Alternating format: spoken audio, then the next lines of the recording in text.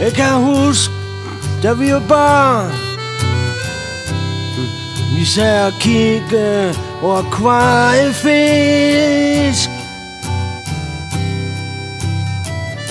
Øhm, Samtidig så tog vi dem op og, og vi kværk dem. Mens morgen den lyste. Gagnes hest Det spis havregryn Ah, E-mol Da vi blev større, der spiste vi gardners hest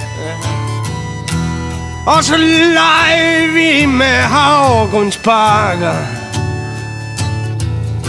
i begyndelsen cool Og senere, da vi blev voksen med en Lego-klods En jænder Skovshoved Esbjerg. Bi 1909 John Danielsen Erling Linde Larsen. Henning Enoksen. Ja, så selvfølgelig Bob Dylan. Ja, da, da da di di da, da.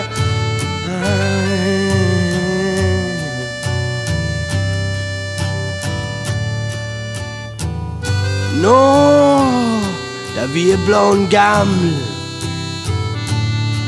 der er så sjældent Vi ser jo akvariefisk